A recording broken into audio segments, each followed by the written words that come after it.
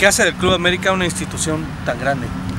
Eh, su historia, eh, los eh, logros que ha obtenido, los títulos, la importancia que tiene a nivel no solo nacional, sino a nivel mundial, porque estamos hablando de que es un equipo que lo ven en, muchos países del mundo. Entonces, esa, esa grandeza que tiene, que está representada por los jugadores que, que han pasado por esa institución, por los títulos que se han obtenido, es, es lo que hace este equipo el más grande. Bueno, ¿qué, qué figuras del Club América son a que más recuerdas?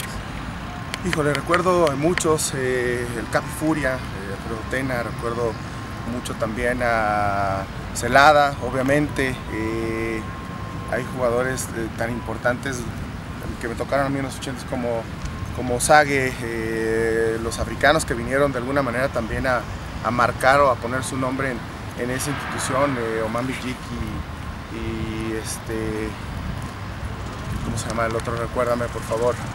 Este. Kalusha Walde, exactamente. Eh, jugadores de- como Carlos Reynoso, que también son parte fundamental de la historia de este equipo.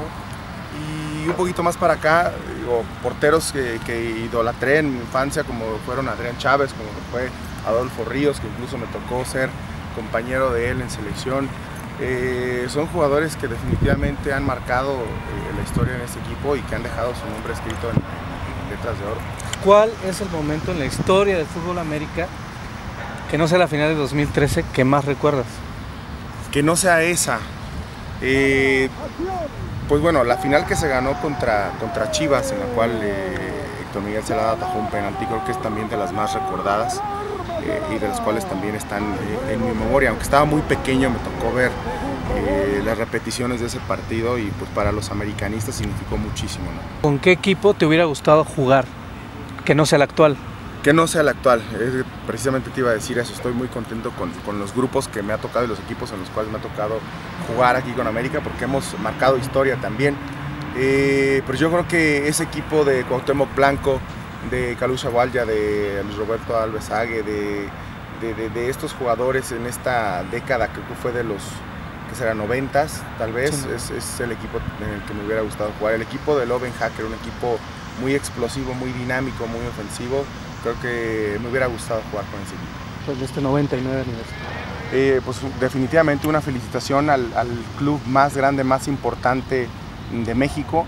Y bueno, en vísperas de los 100 años creo que es eh, momento de festejar y momento de recordar todo lo que ha sido prácticamente un siglo de historia, un siglo de logros, un siglo de, de- muchos eh, pasajes históricos que ha, que ha tenido este, este gran equipo. Y bueno, simplemente desearle muchos, muchos años más, que no tengo ninguna duda que como el equipo más grande de México seguirá existiendo por muchos años.